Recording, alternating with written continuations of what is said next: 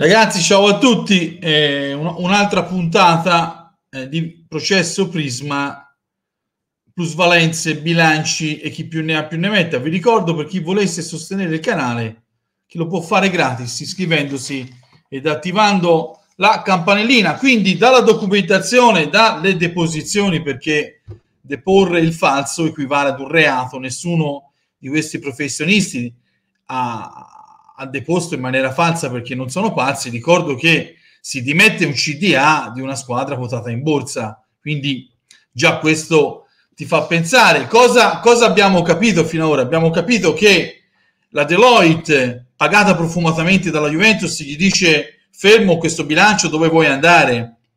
Allora Magnelli spinge perché altrimenti non può iscriversi al campionato. Questo dicono gli atti processuali, questo dicono gli articoli del Corriere della Sera, e tanti altri giornali. Quindi la cosa è molto ma molto grave e alla signora, alla dottoressa Marilungo non venivano mostrate le carte, questo lo dichiara lei davanti al PM, la dottoressa Marilungo dichiara che Agnelli la voleva costringere ad accettare il bilancio, altrimenti la Juve non poteva iscriversi al campionato. E non lo dice Giuse, ma lo dicono le carte, atti processuali, deposizioni, articoli di giornali. Un altro cavallo di battaglia eh, eh, del caprone, perché avete ragione, che chiamarlo capra e offendere un bellissimo animale, un altro cavallo di battaglia del caprone e i suoi tre seguaci è quello che Giulini ha, dei, ha delle azioni dell'Inter, ma eh, perché sto leggendo cosa scrivono i suoi seguaci, io gli direi a queste persone, invece di perdere tempo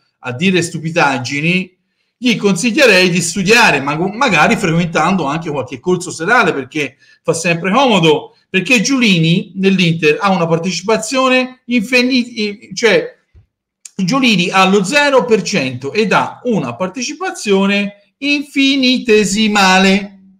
Vai sul vocabolario e cerca questa parola nel capitale sociale dell'Inter. Il divieto, Caprone, te e, que, e, e, quei due scoppiati, il divieto riguarda le situazioni che possano determinare un controllo. Quindi ci spieghi, Caprone, ignorante, come fa Giulini con uno 0% ad avere un controllo sull'Inter che Octree c'ha più del 90%? Quindi anche questa cosa qui te l'ho polverizzata. Capra! Capra!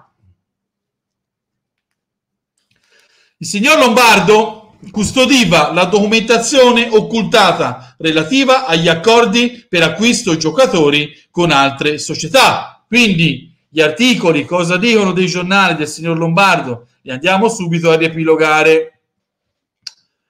Eh, visto che loro erano tutto a posto, Juve, l'ex Lombardo, Udinese ed Atalanta facevano da banca. Articolo di Calcio e Finanza. Spuntano nuove dichiarazioni rese al PM nell'ambito dell'indagine sui conti della Juventus. Questa volta riguardano Maurizio Lombardo, per nove anni segretario generale del club bianconero.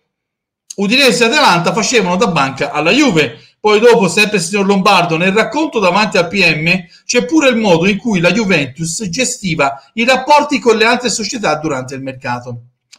Lombardo cosa dice al PM? Attenzione, una roba gravissima. L'Udinese ti ha fatto un po' di banca, ci ha permesso di fare plusvalenza, immettendo anche la clausola sulla decadenza dalla facoltà di acquisto. Ricorda Lombardo al PM quando i magistrati gli chiedono della cessione e del riacquisto di Rolando Mandragora. Vi ricordate? Altri accordi non depositati sarebbero invece quelli con l'Atalanta, un'altra banca per la Juventus.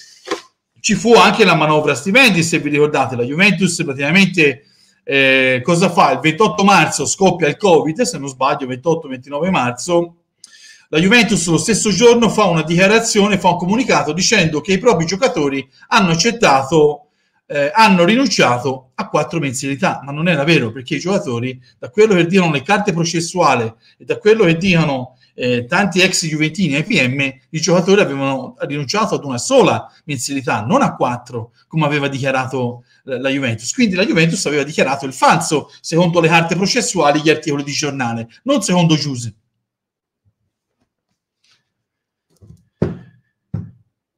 Quindi avevano rinunciato alla mensilità di marzo, aprile, maggio e giugno, ma avevano rinunciato solo 2020, ma avevano rinunciato solo alla mensilità di marzo. Quindi eh, la Juventus aveva dichiarato un risparmio di 90 milioni, ma non era un risparmio di 90 milioni, era un risparmio di 22 milioni, quindi la Juventus aveva dichiarato una cosa che non era vera. Capra!